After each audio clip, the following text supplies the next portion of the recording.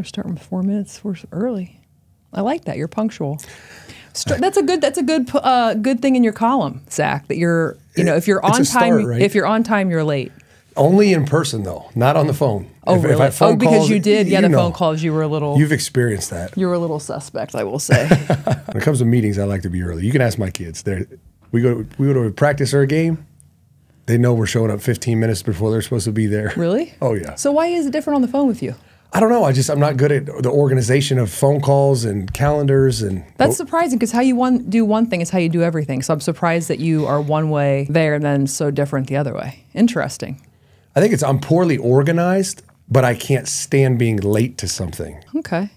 Well, Zach Smith, welcome to the Keri Croft Show. Thank you for having me. You know, I we do we probably should tell the story about how I broke up with you first. Yeah, absolutely. Don't you think we should? Yeah, absolutely. Okay, so you know I'm new at this. I'm a baby podcaster. I've only been doing this since January. So I'm still trying to get my footing. Like, what am I doing? And Yeah. when the word got out that I was having you on the show, there were a couple people that were a little like, ooh, I don't know if you should be having this guy on your show.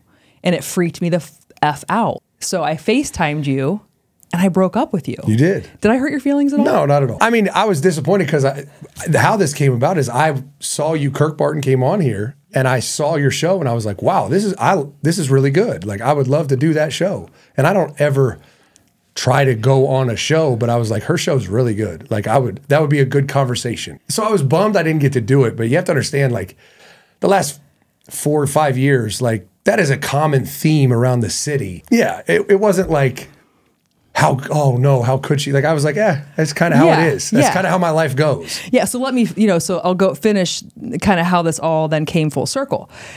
So I don't like to be told what to do. I've always gone against the grain, not not just for the sake of going against the grain. I've just marched to my own drum.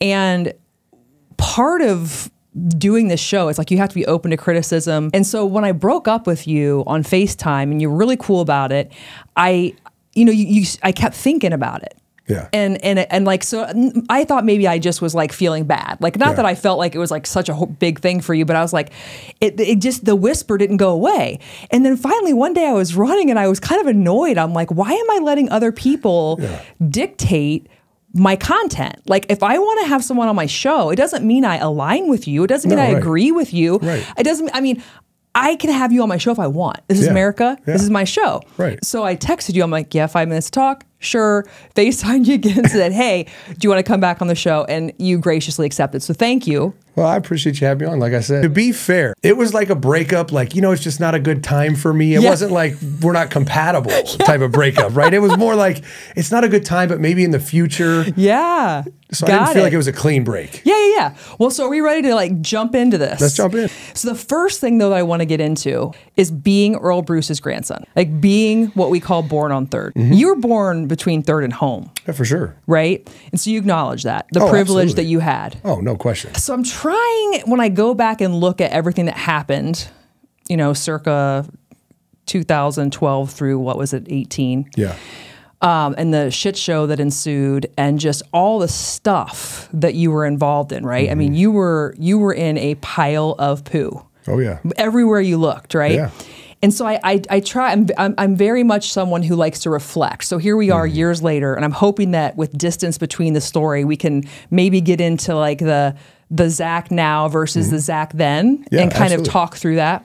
Being born on third doesn't mean that you can't be good at something. It doesn't mean that you can't succeed, but it does mean that you have a privilege that really no one else has oh absolutely you're four years old, you're on the field at Ohio State, you're full access pass into greatness. Yeah. That's your grandpa. He's holding, you know, he's putting you on his lap, and then you're watching him Mm-hmm. dominate. Like that, that had to really create some sort of narrative in your head, yeah right? That did. that other people did you get it? No, not a clue. I mean, I did, you know, I didn't, I didn't understand at all until I was probably 13, which would have been like 1997. So he's long, he's been retired from coaching for a couple years and he was back in Columbus and him, and- him and my grandmother used to take us to get school clothes.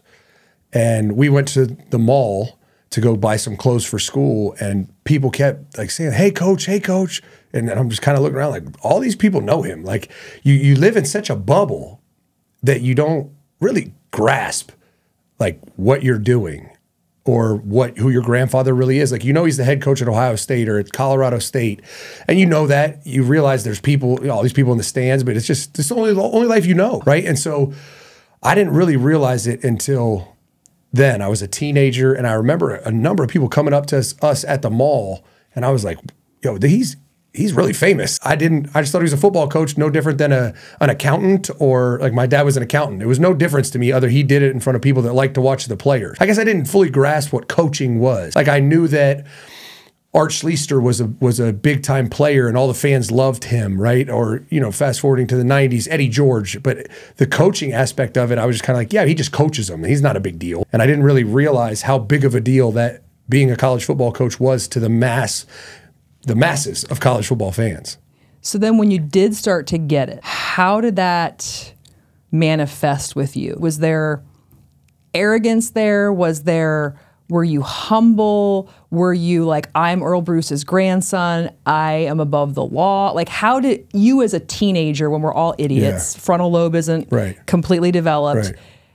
d- did you kind of puff your chest out a I bit? I kind of shied away from it. Like, I, not that it was it was not embarrassing, but it was almost like I didn't want people to know me as that, right? And so I, I'll never forget, even in high school. Like, I mean, my close friends knew that he was my grandfather, but I I was at a freshman football practice, and I'll never forget it because he showed up to watch. And I mean, players, the coaches were like, "What the hell's Earle Bruce doing here?" Like, no idea that I was his grandson or anything. And they all started. All of a sudden, they all fanboyed out, and I'm like, I, I was a, I was embarrassed in a good way. It's going to put attention on me, and and I never really wanted that. I mean, like you said, it, being born as Earle Bruce's grandson certainly opened incredible doors for me that I took full advantage of, and I have no shame in doing that. But I I, I was never like, I never like thrived in that, or or, or was never cocky about it. Like it, to me, it was something that's like, yeah, he is, but like I I don't really want that to be how people reference me or know me.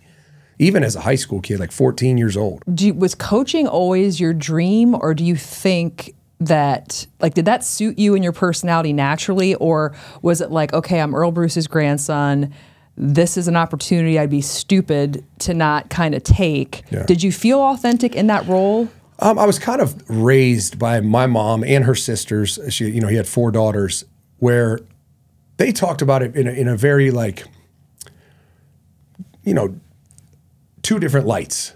Like it was very fun going on bowl trips, and your dad's the coach and this. But they also talked about a very different side of it, where he was never there.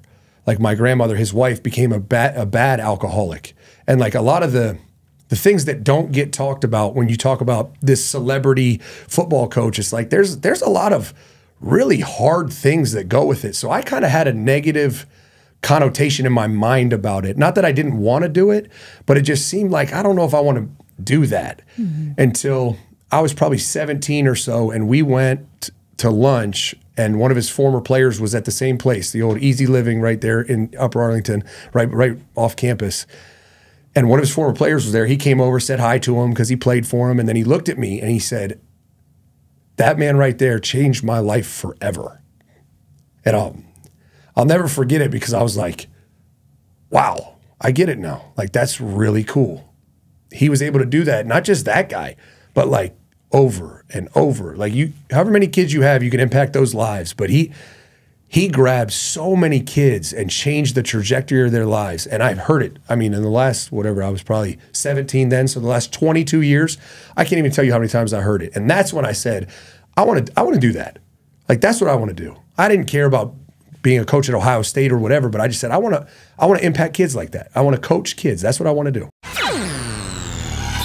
I walked on at Bowling Green. I was not a college football player. I was an I was a good high school player. I, I got a walk on spot because Urban Meyer coached for my grandfather. I walked on at Bowling Green with the sole and I didn't think I was going to play in the NFL. I was not naive. I was not an idiot.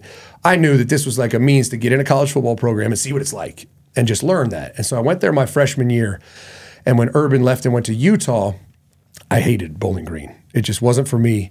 And I called my grandfather and I was like, hey, I, I want to transfer. Like, Urban's gone, your guy's gone. Like, I want to transfer. So I went to Kentucky, which is where I had some friends going. They had a much better freshman experience than I had. And so I went to be just a normal college student, but I told him, I said, I still want to coach.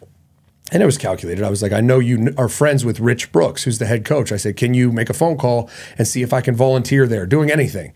And he did. And I volunteered there. I can't even say, I, I was never in a meeting. I was never at a practice, but I would go in and help do like mundane tasks about breaking down film, filling in what hash mark it's on, what quarter it is. Kind of back then, you look at it now and it's not like it, but um, I sound like an old man saying that. But it took a lot more grunt work to break down film back then than it does now. So I just would sit in a room by myself and help break down film. So that was my first experience being on that, the other side of a college football program. And then when Urban got hired at Florida, my grandfather called me and said, "Listen, if you really want to try to be a coach, you have to go down to Florida right now, and we'll see what Urban will, will offer you. I can't promise anything, but you have to go down there and try to get your foot in the door because this this is a great opportunity." Well, now when you when he says try to get your foot in the door, like it wasn't hard to get your foot in the door. No, it wasn't hard, but it wasn't hard at all to get. I mean, Yeah, I mean your foot was in the door. the foot was in the door for Yeah, sure, right. But it was more like this is not something that I can just call him in a year or he's just getting there. He's going to have full staff turnover. I can get him to find you something to do. So, did you ever feel going there under those circumstances that people were gunning for you? Did you ever feel there was resentment? Because I'm going to say, like, let's say I'm Joe Schmo off the street, I would give my left nut, right, for the opportunity Oh, to even absolutely. s- be in the vicinity of a program like that, and then you get to be like, "Hey, Gramps, listen." Oh, so, yeah. which again, that's your that's your privilege. You know, I'm not. No, no, no, you- You were born Earle Bruce's grandson, Right. and, and and people would be lying to say that they don't try to help their own in, in certain ways. So, did you ever feel like this is too easy? Like this? Did you have imposter syndrome? What was the feeling being able to just sort of like pack your bag and be like, "Yep, this is what I want to do," and then you get that opportunity so easily? It was, it was, I, I think my own intrinsic like response to it was very like, there's way more pressure on me as this unpaid intern than somebody who, however they got that opportunity, they got it, right? It's like, I didn't want to come off as some entitled kid who thinks he deserves this because Earle Bruce was a, coach. It's like, no, no, no. I, definitely had an unbelievable foot in the door and privilege to get that first opportunity. But I took it as more like, I'm going to make sure that I become a great football coach or that this works out because I don't want it to look like God. This guy had a freaking ridiculous opportunity and he didn't do do anything with it. Like he he and honestly disrespected what my grandfather did to afford me that opportunity. Mm-hmm. That's kind of how I looked at it. Was was this is my grandfather didn't have wake up on third base and he gave me this opportunity because of all the stuff he did. How disrespectful of me to come in cocky or arrogant and not work harder than anyone else and appreciate the hard work he did to gift me this opportunity. Looking back objectively on your career at Florida, what would you grade yourself? Do you think you did go in and work as hard as you possibly could have? Did you put your nose to the grindstone and work your fanny off? Like, oh, what yeah. score would you give yourself scale objectively, one to 10? Yeah, 10. I mean, I, it, it was, I didn't know what I was getting myself into. I, th- I told myself that, like, I'm going to go work extremely hard and all that. I didn't know what that meant. No idea. I mean, I'd never worked a half day, not even a quarter day compared to what I was going to do when I got there. But I was fortunate to be around two, really two GAs that are, you know, who worked 20 hour days every day. Ryan Day is one of them. And then Sean Cronin is, is the other one who's now at Army. And they were grinders. And they just kind of were like, they were very like, in a bully way, like, no, no, no. Like Ryan was like, Ryan didn't have any help. And he was like, hey, you just come with me. You're gonna you're gonna help me do everything. And so I just was like, oh, okay. Like mm-hmm. I had some somebody that was a part of the staff, kind of helping me figure things out and just kind of telling me what to do, which is which was nice to not have to like figure it out. It was just like I could just shut up and do what he said. Yeah. And I didn't leave unless he left. Like I wasn't going to leave early. And I told myself, I said, listen, I'm not going to leave or not work hard if they're still working. I'm just going to be here until they have something to do. And I'm, when they leave, I'll leave. Then I know at least I'm working hard as hard as they are. So, um, Your first issue, though, domestically with Courtney was when you guys were in Florida. Mm-hmm. Yeah. Okay. So your marriage was already, I would say, in trouble way back when you were in Florida. Yeah, definitely. That was the kind of the start of it. Um, and it was a very unique like instance.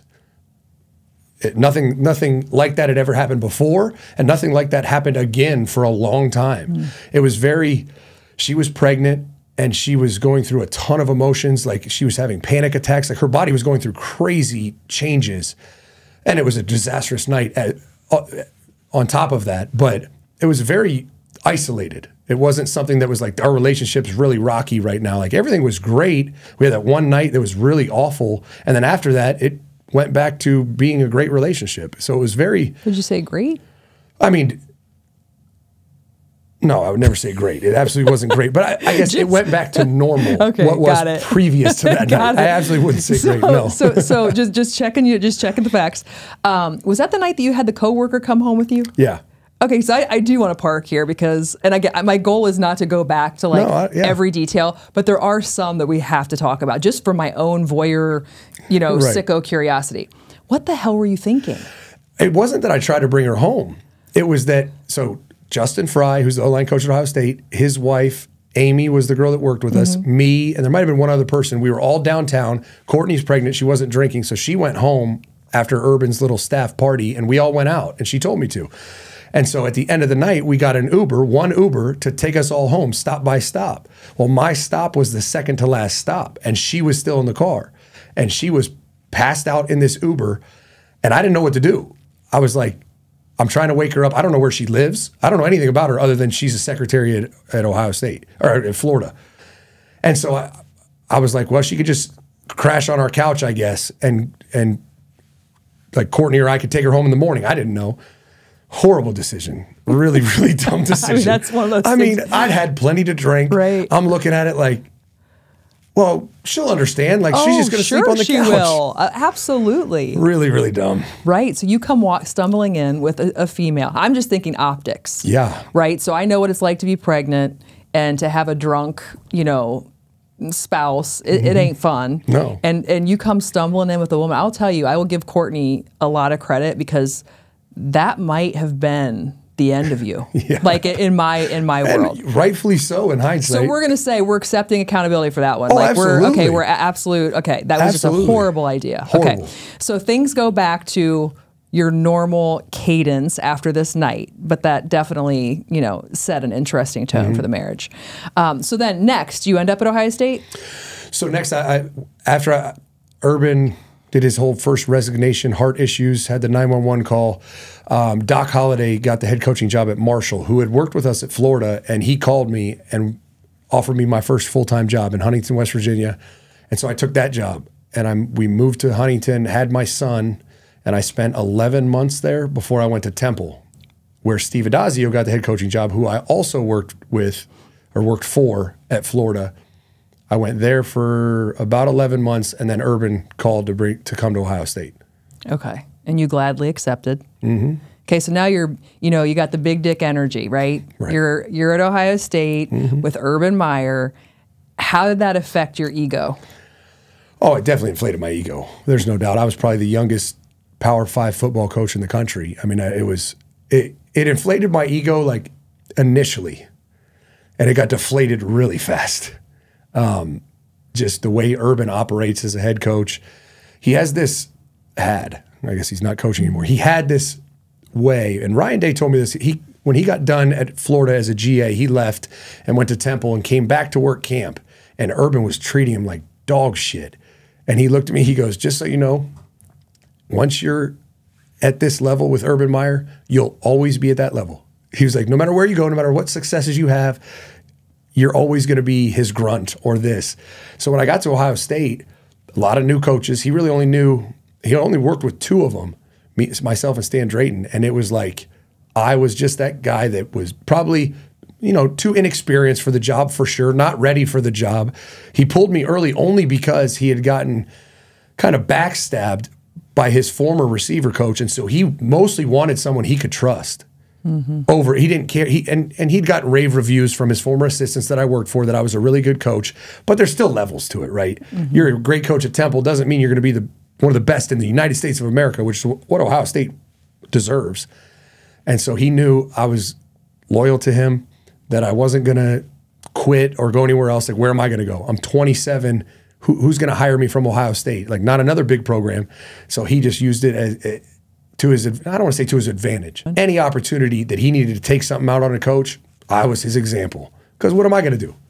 Well, and you had that relationship. Yeah, for sure. You know, and again, going back to you having this privilege, you know, I'm reading through these text messages between you and Urban. And I'm like, this doesn't happen. Like Urban's not Urban's like looking for you and saying, "Hey, where's Zach? Make sure he's you know Zach's not performing or where is." It's it's almost like you were his child. I mean, any in the real world, you would have been fired and let go. You know, but you were like Zach, right? You're where's Zachy? And and side note for Urban, what is up with his texting? Yeah, he texts, he leaves off a lot of letters. a lot of letters. What is that? Is this he texts like a 12 year yeah, old like girl? he'll say, come see me, and it's C O M C M E. Uh, yeah. Yeah. Yeah. I was actually dying when I was because I felt like you were like, you know, okay, Urban, and he's like, you know, reprimanding you, and I'm like, this shit is not real. No wonder if you did feel invincible or if you did feel like you were above the law. No wonder. This is I don't even know how you had a chance. In my in my mind, truly, you would think that someone like you going to Ohio State under Urban Meyer, having Earle Bruce as your as your grandfather would be the most incredible thing, right? But that to me is such a recipe for disaster. You just didn't have the perspective. You didn't have you you just it was too much too soon. Mm, it that's just was. that's my own humble It definitely was. And opinion. it was too much too soon. Like I was not ready yet to be at a, a place like Ohio State, especially with all the backstory, all the all, everything. My whole family, all my friends, everyone lives in Columbus. That's where I'm from. It was a ton, and on top of that, walking into the situation where the receiver room was my room was completely depleted. Urban is a receiver coach at heart. Like he, it, there was so much pressure on my room to get better fast, and I just wasn't. I wasn't equipped for that or to manage Urban Meyer because you, he, call it what it is. You have to manage him if you work for him, and it took me probably after 2014, after we won the national championship, where I really and Tom Herman helped me do it, like figure him out, where he does things that are just, I mean, borderline verbally abusive, like and send used to send me in a tank because I had so much respect for him and wanted to like do a good job for him that it would just just destroy mm-hmm. me. And Tom Herman would gra- grab me one time. He was like, "You got you have to step out of this and watch him work." Because it is truly a psychological manipulation masterpiece. And it is what he does with players, the team, his coaches. And after about 2014, I used to sit back. He could say anything to me, and I'd remove myself and just think about it. And I'd watch. Like he'd blow up on the staff in a staff meeting, go crazy. And you're like, most of the people are freaking out like they're going to get fired. And I would just push pause and watch. And I'd be like, this fucking guy is brilliant because you would see grown men, 30 year careers, panicking and working like they were going to lose their jobs. But okay, so so so er, why is that brilliant though? Well, it's, it's, I'm not, I guess it's not brilliant in a big picture, but in that bubble, getting that kind of production and getting that kind of urgency out of these coaches, it was, I, that sounds very basic to me. Like you're you're you're wielding your. I mean, he's the head coach of Ohio State, so you're you're wielding your authority, right? Yeah. But it's like. I don't know. I would think there would be more strategic ways to do it. Like I'm more of a Tressel style. Yeah. You know what I'm saying? Like that to me. When you when you go back and you say, you know, this is a psychological mastermind or whatever, that's a trestle to me. yeah. And maybe I'm just dumbing it down. Again, I know nothing. he, he, he's, he's the most reactionary and unintentional leader ever. Oh, okay. Which it's, it is it is literally go. 911 fourth and fourth and one every situation. It's the most dramatic response mechanism in human form. Interesting. All right, but I digress. So, did you know, like, did you have internal dialogue where you're like, I am so out of my depth here? Like, did you ever panic? I mean, this is a big job. You're you're you know, in the public eye, and you kind of feel like maybe this job is a little. Were you like, holy shit? Like, what am I doing here? No, it was more for me like I I gotta I gotta figure this shit out. Like I gotta get better and better and better and figure out how how I'm going to become an Ohio State coach that that should be here. And I think it, it took I mean the first year it was brutal. By 2013 I was competent and by 2014 I was I would call myself one of the better receiver coaches in the country. So but it was it was more a kind of internal look and say, all right, I'm going to get fired if I just if I'm Yeah. don't if I don't become one of the best coaches in the country at my position, I'm going to get fired mm-hmm. for sure. So I got to figure this out. So it doesn't take a genius hearing this mm-hmm. and understanding the time, the energy, the ego. I mean, your whole world's wrapped up in this. Mm-hmm. And so now you got a wife at home. And we all know what happens there under normal circumstances. You start having kids, life is mundane. She's bitching to you about everything she should be bitching to you about, but you can't, you're in a pressure cooker. You guys were in a very extraordinary circumstance that mm-hmm. just, it, it is inevitable that it was probably going to blow. Mm-hmm. And then on top of that, when I look at some of this stuff with you, um, I mean, let's just let's just go. Let's start. Let's pull one out of the hat. Hold on. Let's pull it out of the hat. Dick pics. Okay. I we got to talk about the dick pics. I don't know. But that's why- okay. That's okay. If you like to show it, it's fine. Lo- I know a lot of people that do dick pics. Yeah, right. There's no shame in that. I Right. have no judgment of the DP Yes. but but let's tie this back to privilege, born on 3rd Mm-hmm. not under really understanding, um, not really understanding uh, the privilege that you had being there Mm-hmm. to to take a pick like that in certain in certain scenarios. Yeah. It's almost like you're like, yeah, you know what? Yeah. And here's my dick too. Like I, I know it. I, I you don't. I mean, I, I can tell you with hundred percent certainty that you got off on the fact that you could do that. Yeah. Oh, absolutely. But but let's. T- I want to talk about Yeah, the, the thought about it. Process behind it. So you like to do that. You like to to to t- like you do that today too, like with your wife. Like you. go. oh, absolutely. Okay, that's there's, there- great. there's an element of exhibition. To, but like the White House. yeah. Let's talk about that It's listen it- because you can. because Because yes. you can. yes. and, and, and I and like that's that's it though. Like what I see with men in power positions who have all this limelight and authority, and it's like you're untouchable, right? Yeah. So that was you. To an extent, but Well, you could say to an extent all you want, but you're like, okay, let me trump this, pull it out. Hey, White House, what up? like it. I find it to be just telling yeah. to the bigger picture. For sure. It's and there's there's an element of that to it, but it was more like, all right, I, I was having these extramarital relationships, and there was a lot of sexting involved, photos being exchanged, and it was one of those things when when I was at the White House. I got a text or something, or maybe a, a picture, I don't know. And I was just sitting there. I was like, "What? What is a dick? Like, what are you doing a dick pic? There's no like women can wear lingerie. They can do all this, like all this shit to look like. What are you doing with a dick pic? It kind of is what it is. And so I was sitting in the White House, and I went to the bathroom, and they had these White House napkins with the seal on it, and I was like, "Now, who's taking a dick pic in the White House? Nobody, right?" Until So- you. Until I'm sure there's been plenty of people that I'm have, sure there have. with the the governments that we've had. Yes. but it was just kind of something that was like, this would be epic. Uh huh. And it, it certainly it. was, right? Certainly. Well, I didn't know it was going to become public knowledge. I, it was not something I was like, oh, this will be epic when people find out. You must be very proud of what's going on down there. I don't know if I don't know if it's about proud of what's going on. if you were there. like a, you know, if you were like had a problem down there, you may not be pulling it out. That's true. Yeah. yeah, Okay. Duly noted. Now that we're in this this twisted, you know, you know, sexual space, Yeah. let's stay there for a moment. Yeah. So let's talk about the sex toys. The easy thing is to say because I saw the cart, the Amazon cart, Yeah. right, and I was like, Yeah. oh my god, what the?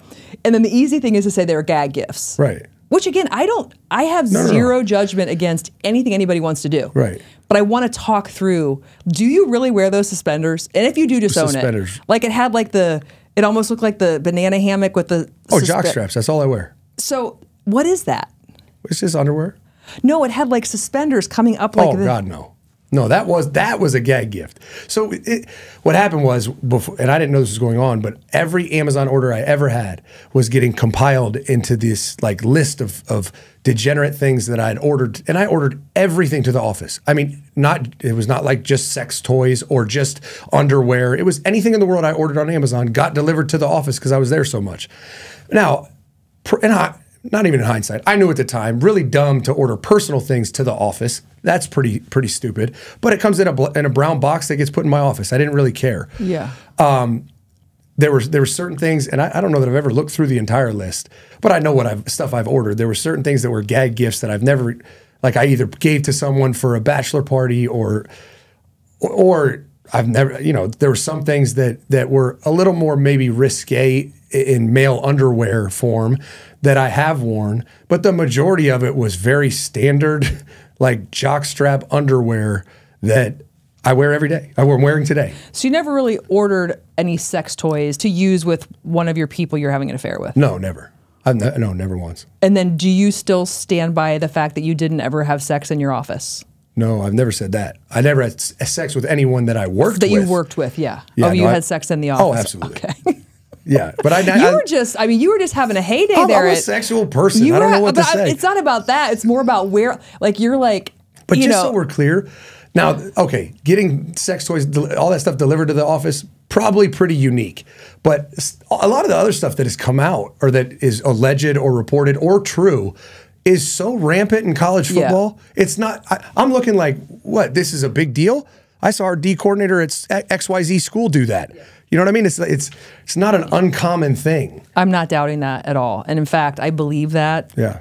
Going back to the whole men in power thing. Yeah. I believe, unfortunately, that a lot of these coaches, uh, you guys probably point to the ones that do it well, and you're like, man, that's a real family guy. Because yeah. I, yeah. I, I guarantee, just with the nature of being away and having this, you know, power position, it's got to be hard to turn away from. Yeah. So I don't sure. think you are. I do not think you're special or unique in that way. Now being removed from it. Yeah I, I even I read headlines and I hear about it and I'm like, ooh, in the real world, that sounds really bad. But the world I was just living in, that was don't want to say common practice, but that was not super abnormal. Okay, so as as your marriage continues to deteriorate, you continue to have now some more volatile mm-hmm. situations with Courtney. Yeah. So do you still to this day stand by the fact that you never touched Courtney other than to defend yourself against her coming at you. Yeah, defend, I defend, defended myself from her and restrained her if she was physically angry. So there was never a time where you got super angry and maybe just did something in anger before she did anything to you. No. Because it's hard. Here's where I get tripped up with this. But it's hard to believe that two human beings who were under this pressure cooker struggling with this dynamic, mm-hmm. right? That every single time it was just her coming for you, where you didn't at some point here and there maybe do it first. The people have convicted you of basically doing something first, right? There's no avoiding that. True, not true, doesn't matter. It's that is that is the reality that most people probably are just that's what they believe, and there's nothing you can do about it. Now, obviously every instance was different. I don't know how many how many times things got you know crossed the line, like like got too heated. Um, but I, but I know that the most physical in in response I've ever been was that one time at Florida, and it scared me to death. One, I went to I, I got arrested for it, and two, it was one of those I, I've never put my hands on a woman ever, and and I was sleeping in the bed, and she came in after the whole occurrence with bringing the girl home in the Uber and I'd been drinking. I'm passed out and she's just hitting me, telling me to get out of the bed, punching me, throws water on me. And finally, I was just so annoyed. I got up and I just grabbed her. I said, "Get out of the room!" And I like like pushed her back with and and she just like fell backwards. And I was like, "Oh, I, like holy shit!" Like I just like pushed her off out the door and she fell down and she was pregnant. I mean, it was a horrible, horrible experience. And then I got arrested. And after that, I was like, I'll never, ever do that again. And so, any other time it ever happened that things got heated, things got physical, I left. I slept at the office at the Woody probably five, six, seven times in the three years we were here in Columbus and we were married. For me, seeing the pictures, reading what I've read, you know, it's hard to believe that maybe you didn't kind of blow your gasket here and there and, and initiate something. Yeah. But Well, that's I- just so. So here, th- this is me being inquisitive. What, what about any picture that you that you've seen would would indicate otherwise? Well, so correct. When I see a photo, I can't tell who initiated it. Right. But I feel like with Courtney, I, and again, this is a total uneducated opinion. Yeah. I feel like she was a woman scorned, isolated, lonely. She Oh, didn't feel seen or heard. Yep. Um, very hurt. But I don't. I don't liken her to be like this calculated mastermind, manipulative person who's No. Oh, out to destroy you and make no. up lies. And so when she's sitting down telling her story and she's being very authentic about Mm. what happened, and what she says is, you know, Zach initiated this situation and this is what happened. I'm going to take her at that word because I don't know. Most women aren't going to sit there and try to contrive that type of story. Yeah. I feel like it's a really unfortunate situation that you guys got into for all the reasons we were talking about. Mm-hmm. You're both human, you're both flawed. I don't think you're a bad person. I don't think you're a woman beater. I don't think you should be forever canceled or labeled that. Right. I don't believe that. Right. But I do believe that you probably did some things that you're not proud of that you're too afraid to maybe say, you know what, maybe I did initiate that one. Like, I, it's not for me. That's for between you and her and the good Lord above, right? Yeah, I feel like the truth is like the sun, it'll always come out. Mm-hmm. And I do think, though, if that was the case with you, like, let's say you do know in like this little nook and cranny in the back of your head, like, you know what, there was a time, she's right. I Mm-hmm. Did do that. Yeah. I do think that's a forgivable forgivable offense to, if you own it Yeah. Right. and you don't do that again. Right. So I, it- it- that's between you, but I do believe her mm-hmm. in her statements that. Yeah. she's made. I don't think she's perfect, but I I do believe what she says about those things that happened to her. Right. Which means I don't believe you. True. Which is which fine. which I mean I, I don't think a lot of people probably do. no, they don't. You know, except your it's- echo chamber. Right. It's one of those things where you really have to. I mean, you you'd, you'd have to be there in a very unbiased role. Like you can't listen to her. You really can't listen to me because both both sides have a very very strong reasoning for what they're doing. Right. The, the the response to it. Yeah. And I would say that the people that the, the closest people that do know do know. Mm-hmm.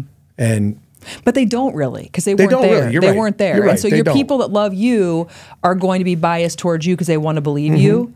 And the people who love her are going to be biased towards her because they love her and they want to believe her. I'm going with common sense and with, you know, I mean, look at OJ Simpson, for example. I mean, it's a whole different thing, right? Yeah. But OJ walks around and says what? He didn't do it. Yeah, do you right. think OJ killed Nicole? I don't. Okay. Okay, only because I have always said OJ did it and the police screwed the investigation up and gave way too much to his defense attorneys and he got off. And uh-huh. that's the system worked because they screwed it up. But I, I've always thought he did it until I watched the documentary about his son. How, how he was this sous chef and, and and all the things that that I can't even remember all the details, but this documentary convinced me that OJ's son did it and he took the fall for his son.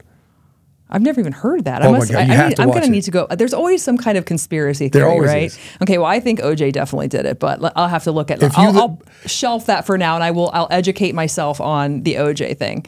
Um, okay, so one more thing before we move on from the from the Courtney saga. You end up in jail, and we won't Mm-hmm. go into all the details. I know it was because she was at school, you were at school, whatever. But the reason why I'm asking about that is I'm just curious about your experience at jail because Wild. I right. So you got 180 days, and then they suspended 160. So you end up with what 20 or 19 days? So I was I, I spent a night in jail the first when I first got arrested, and then the next day got out. Obviously, had to have a trial, and then got 19. So I had 20, but I already served one. I got time served. I know. You got. I, I read that. You got 24 hours time you, served. You'll get credit for time served. I was like, holy shit! Who'd ever? I've gone never and thought done- I'd hear that. I've statement. gone and done it. I did it. Um, it was wild, and I mean brutally miserable at the time. You know, getting your freedom taken away is something I never anticipated happening to me. And in, in hindsight, what an experience! I mean, the people I met, like some of their stories and mm-hmm. like cr- some crazy people. Did It- you have a roommate? Oh no no no! This was a Were you by yourself? there was twenty people in in one room. Oh, I see. and you never left the room. Like you could, there, there was no. I've, I've heard all the r- stories and laws that you get, have to have like exercise time. You were in one room. It was a big, big room for all 19 days. Never left.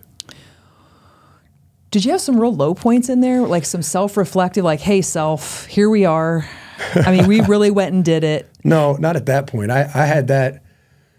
I really had that after I got divorced, and and I hit rock bottom about 2015 ish, 20 probably about in between 2015 and 2016 was when I really had those conversations. It- it- when I got put in jail, I knew what happened. I knew what it was. I knew the trajectory of my life, where it was going. Now I'd just been fired, so I didn't know what I was doing, but I knew the I knew the things that I was doing in my everyday life, my routine, kind of who I was as a person, and I knew where I was heading.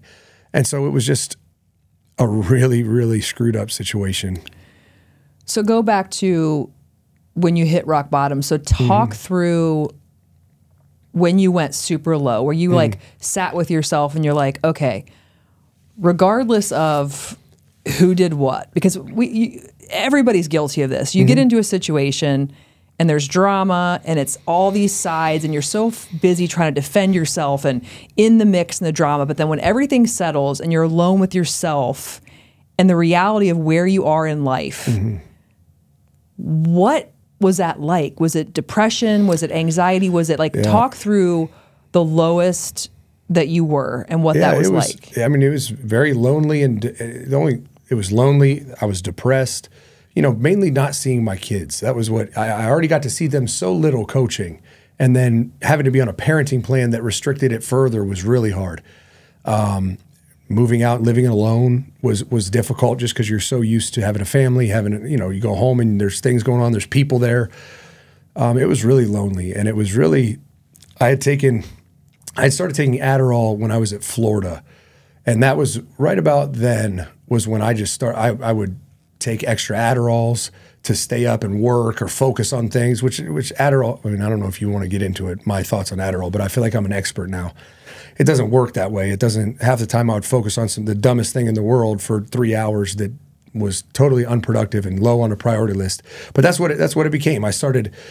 I started drinking more often. I didn't cook for myself, so if I was going to go home, I'd stop at the little restaurant right where I lived and eat and drink, and then take an Adderall, go home, look at recruiting rankings, watch recruiting films, stay up till all hours of the night, have to go back in the next day, and it became a vicious cycle, really bad.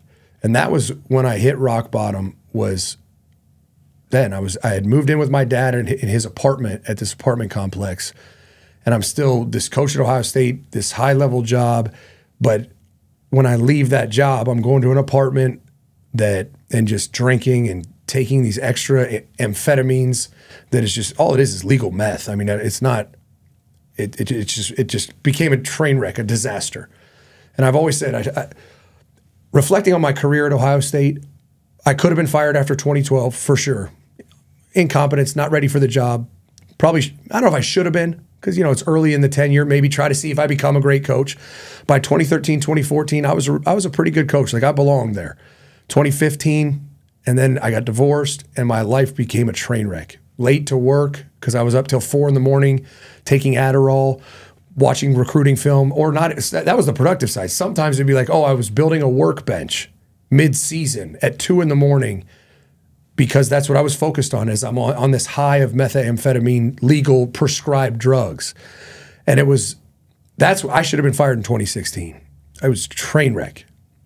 Late to work, just all all kinds of stuff. Probably all been reported. I don't know Well, that that's I've I think when all. Urban was kind of sending those text messages, kind of like checking in on you when anybody else And- would have been like, you know, hit the road. Yeah, and I, and, I had gotten so good at in in its own right at recruiting that when I went on the road recruiting, I knew exactly what I needed to do to sign four great players, and that was all. I mean, mm-hmm. he only needs you to sign two, and I would sign four, so I knew he wouldn't be on me about recruiting, and so I would do what I needed to do, and that was it. I wasn't doing anything else. I wasn't going out trying to find more. It was just I'm going to get my four players and be done. And so he had all these rules about you had to go to this many schools and that. And so I would just make it up. I'd be like, yeah, I went to these seven schools. Really, I only went to three, the three that matter. And so I started lying to Urban. And it, it got to the point where Greg Schiano flew down to go see a safety with me. And I didn't know this at the time, but he had found out that I didn't go to a school that I said I did. And so Greg came down and we're, we went to the school, saw the kid, we're driving back, getting off the exit of a highway, and he pulls over on the shoulder. And he goes, Hey, what's going on? I was like, What do you mean? He was like, Well, Urban knows you haven't been going to the schools you say. And he starts detailing all the things that Urban knows that I've been doing in this absolute disaster life I've been living. And he was like, I'm here. He was going to fire you. And I told him, Coach, let me fly down there and spend a couple hours with him and talk to him before you do. I just started bawling, crying. like grown, grown, grown man, right, as they say. And I just told him, I said, I, my life's a train wreck and I can't get out of this. I don't know what to do. And I had decided after that that I would never take Adderall din- again, and I'd never, I, I, I have never. But Urban, when when Greg kind of presented to him what was actually going on, Urban was like, "Listen, you're going to rehab, or or else it's over." And I and he was like, "I'm only doing this because I think you could be a great football coach, and I think your kids deserve this more than you do." They don't deserve to get their dad fired. Where does your career go from here? Your kids deserve this more than you do. And so I'm going to I'm going to mandate that you pay $20,000 to go to this inpatient rehab facility for 10, 14 days, whatever it was. And then I'm going to drug test you. If, if Adderall, if you start taking Adderall again, you're done because I'm not going down this train wreck path again with one of my coaches. And so that's what I did. And I never took it again. And that's when really everything turned around. Um, Ryan Day got hired. I started doing. I, I think I was one of the better coaches on his staff, and so I always tell people this, and it's it's. I believe this as deep as I can with as much conviction as I can. I deserve to get fired in 2016. The fact that I got fired in 2018 when I was 14 times the coach I ever was at Ohio State is just so. I had a meeting with Urban a month earlier about taking over the offensive coordinator job when Ryan left and becoming a head coach. Like my tra- like finally I was on the right trajectory and doing well, and then I got fired. And I was and I deserve to get fired. It's a, I didn't deserve to get fired when I got fired. That's just the issue. So closing the loop on Courtney, Mm-hmm. looking back at all of this now that you've had time Mm-hmm. and wisdom, like have you have you ever sat with her and just truly apologized? Oh, there's no no. It's not even possible. You don't think that she would even be open to if you never. You don't think so, or have you have you tried? No, I mean there's no there's no no, no way to try. I mean there's no way to. would you be would that be something though that is that something in your heart where it's like i'm not saying that you go to courtney and say i was wrong about everything mm-hmm. i'm thinking more for the kids for you guys for your new partners. You know i look at this from a very human perspective of you know nobody out there listening to this knows what it's like to be where you guys were. Clearly the two of you didn't handle it mm-hmm. well. That being said if one of you could potentially just extend an olive branch of, you know what, I I'm seven years removed from this. I've had a ton of time to reflect. Something we've done really right together are these beautiful children. Mm-hmm. And I would love the opportunity to sit with you for 10 minutes and just apologize. Do you don't think that she would ever at least entertain something like that? Oh, but she's already gotten the apology for everything that went on in our marriage. So you have apologized. and I've taken the blame for the entire marriage being a train wreck because of my job, because of how I reacted to my job, because of my infidelities, because of how I was as a husband. I've owned Mm. all of it to her and apologized in 2016. So you did apologize. Oh, yeah. Okay. Okay, so my Oprah Winfrey moment is, you know, not going to work. Like your kids right now are too young to sort of process all of it because they're in it. They're in their childhood and they're they're doing their thing. It's when you sort of get older um, that that sort of relationship between the two of you will have its effects Yeah. on the kids. So Right. I just in my mind I'm like, look, Yeah. if there's any way that you could somehow, you know, And, and I don't know what that is, but kind of my approach has been in the last four years or so, because that's probably 2016 is what, seven years ago? In the last four years or so, since I'm around my kids a lot more mm-hmm. now, has been more just like, all right, everything when my kids are around in the house, I will never disparage her. I won't say anything negative about her. I will I'll always talk about her positively. Justine and I talk about her all the time about she will always talk about her positively. Like we're we're just going to try to do our job to keep her in a positive light in our house and if and if when they go to her house she chooses a different route, I can't control that. And so that's kind of where I'm at now. I'm like, you know what? I talk. I'm like, hey, call your mom and tell her about your hit. Like, I try to t- get them to see, like, I want you to be involved with her. And I don't know if that's right, but that's what I'm doing. All right, moving along. Yeah. Um, back to your grandpa. Mm-hmm. So when all of this is going on, because what he passed away in 2018. Yeah. So he was he was witness to some of this Yeah. stuff, Yeah. right? Did you feel like you let him down? Did you were there, was Oh, there a moment between you where you felt like did he uh, what did he say to you? What was the moment with him where he's like, "Man, what are you doing?" you know, hindsight, I mean, hindsight being 2020, he was around two years away from dying. He wasn't his normal self. Um, and I wish he was because it would have been much easier to get just my ass ripped and just get absolutely destroyed. But to see him like, just like care and be like, you got to change, you got to, you got to get right, you got to do this was almost more heartbreaking than anything because shit, two years earlier than that or any point before that, it would have been that, you know, depression era grandfather just hits you in the back of the head and beats your ass and tells you to do your shit right. And that's probably, I don't know if, I, I don't know if that would have worked though. I don't know, seeing him the way he was and uh, the, the one time that, that Urban brought him in to tell him, hey, this is going on. I just want you to know because I might have to fire him and I don't want anything to come between us. And and he, he and Urban told him, he said, "This is." I told him it's his last his last straw here, or else he's out. And to just to see how it wasn't even he wasn't even upset or mad. He just cared, and it was really hard to see. So yeah, I felt like I, I, I mean, how, I felt like I couldn't have disappointed him anymore. Hmm. That had to be really hard. It was. And you know, now that we're sitting here, your dad gets overshadowed. You know, Oh, we've yeah. we've we've talked about your grandpa this Yeah. whole time. So, what was your dad's take on all of this? Did he throw you against the wall, or what's his approach? That's not really his parenting No? style. We would talk about it, and he would like try to give me advice and, and tell me, but I'm pretty stubborn and pretty strong willed. Not that I, I value my dad, what my dad says, but that's not his style mm-hmm. to You had to you had to learn the hard way, learn the hard way. And learn the hard way you did, Zach Smith. But I'm still here, so You are. And so now turn we're going to turn pivot a little bit, Yeah. right, into something a little more positive Mm-hmm. in your life now and kind of some of the things you're doing, which I think is great. yeah.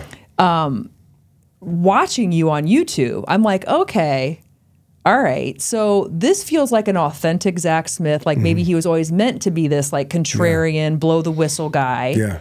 You're very confident. You have like this.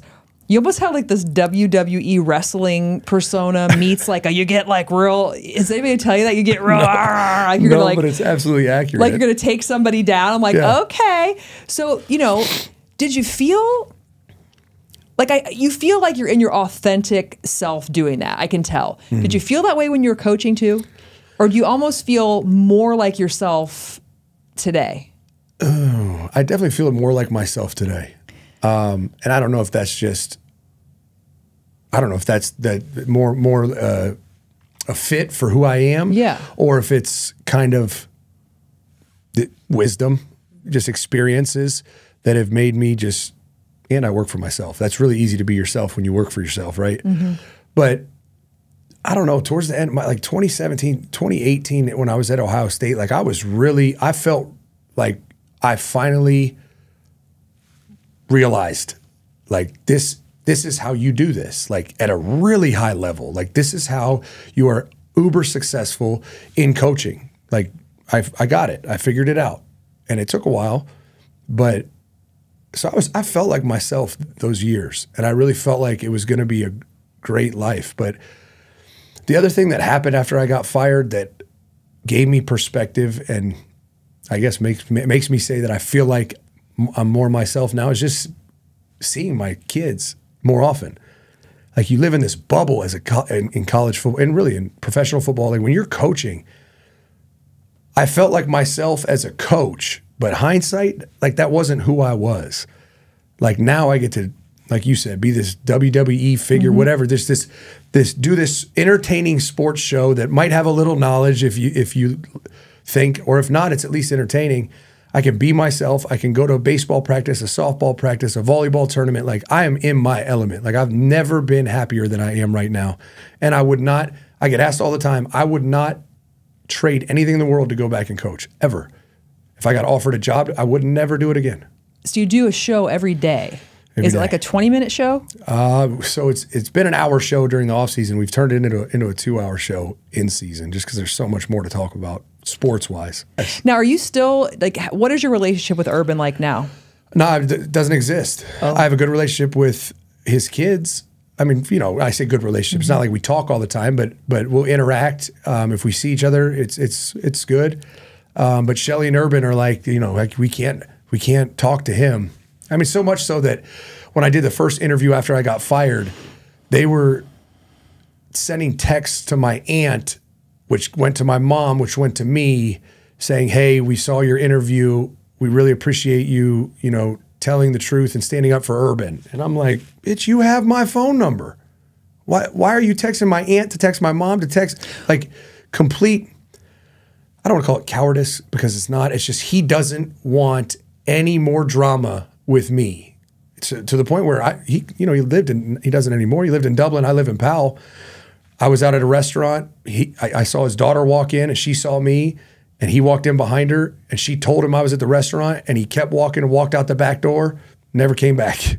I'm like, dude, you can eat dinner. I'm not going to come talk to you. Well, that's unfortunate. Yeah, it is. And it, he's he's got his own share of drama, right? He he has plenty of drama of his own. Were you surprised when when you saw the, the twerking oh, scandal? I was, that, shocked. Like he is, not that this is some, you know, this if being so faith based and so like the narrative he spit for. I was with him five years at Florida, six years at Ohio State, so eleven years. All I heard about was how. Like he talked about his marriage and like like boys trips, and he's like, "What is a boys trip? Like if I'm gonna go on a trip, Shelley and I are gonna go somewhere, right? You know what I mean? It was very like, I was shocked. But did he really do anything on that video? No, So so so part of me is like almost um, it feels like that girl like turned around and kind of did Yeah. whatever she did for a second. I mean, was he really culpable there? I'm still on the fence about it. Yeah, I don't know. I mean, But it's just an example too, though. It's like, let's say he was completely, you know, caught off guard or whatever. You just get slandered Oh, yeah. in the media, so he should have a little, you know, I mean, like he gets it. Yeah. But he, I don't know. Let's just, yeah, I don't know. I guess, mean, uh, what do they say? Heavy is the head that wears the crown. Absolutely. That's what it is, right? He he should have taken the team plane back to Jacksonville. I don't know. I mean, it's just it, unfortunate for him, but I did find it very, very coincidental, almost karmatic that his family's reaching out to me about how to deal with the media scrutiny. I'm like, hold on now. He is struggling with dealing with this narrative being spin on him he could have come out and been honest from his lens, but he didn't. He wasn't. He took the coward's route and said what he needed to say, the company line, so he could get out of the messy situation that was my life. I mean, I, I sat in a car with Gene Smith, and I love Gene. Bef- right when everything hit the news storm, he, which is this is a little creepy. I, I got out of the facility. I, I got to go for a walk. I'm walking campus down some back alley, and Gene pulls up on me. I'm like, how did you know where I was? Like, we got tracking devices on the coaches or something. But he pulled up, and I sat in his car, and he was like, "How you doing?" And I was like, "Awful." like as you can imagine. And I, I, I honestly thought he was going to fire me. I, I didn't know. I was like, "Why would he pull up on me like this?" And he told me he was like, "Listen, we're going to get through this. Like we know reality. We're gonna you're gonna be fine. I know you're probably freaking out right now. We're gonna get through this. And that was at like 11 a.m. the day of Big Ten Media Days, and at 4 p.m. I got a phone. I had to sit in Greg Schiano's office and said, "Urban needs to talk to you." And I was like, "I know what it is. Like I'm fully know what's about to happen." But all Urban said was, "Hey Zach, um, with everything that happened today, we're gonna have to relieve you of your duties as a coach at Ohio State." The only it's the only words I heard from him. He didn't say another thing. Gene took then Gene took the phone and started explaining everything. We're going to take care of your your family. Like we're not going to just fire you. No more paychecks. Like we're gonna, you're going to get paid through the year, and I'm not going to throw your kids on the street. But this is just too much. Like he's talking to me, and I'm sitting here like, I love Gene and everything, but like I've known him for minute. I mean, kind of known him for five years. Like the fact that Urban Meyer could fire me that way was like I'm still shocked about it. Are you though? No, Because uh, let, let's let's rewind the tape. Everything you said about him, it sounds like he's pretty matter of fact. He is but- Guy. but I've known him my whole life. Like you would think at some point there would be like a a follow up. I mean, but maybe not. I mean, I, it's like I, what I always tell people. I don't need to be Urban Meyer to be my friend. I'm fine, but it's just it's weird. Well, there's still time. There's still time. That's true. Maybe I could maybe I could facilitate an intervention between you and and Irby. I've Oh. got a oh. third microphone. I'm more than willing to Oprah Winfrey your asses. That might break YouTube. I'm here. Listen, the Keri uh. Croft show. It's all about it's all about the human experience, whatever Well, that may be. I will come back for that show. I love That. I got a feeling the other one's going to be the hard one to Who would we get first? Would we get Courtney or Urban? Which one do you think would have a better shot at getting? Oh God. Whew, that's a great question. You know, we'll leave you. We'll leave. We'll leave the people with that. All right, Zach Smith. Thank you so much for being so open, Mm-hmm. candid. Uh, I love the talk about your penis. Um, that was amazing, and I. That was my favorite part too. I, I really, I mean, that's what stuck with me the most. All right, guys, please continue to follow your girl out there on YouTube, Spotify, and Apple, or wherever you get your podcasts. And until next time, keep moving. I appreciate you having me on.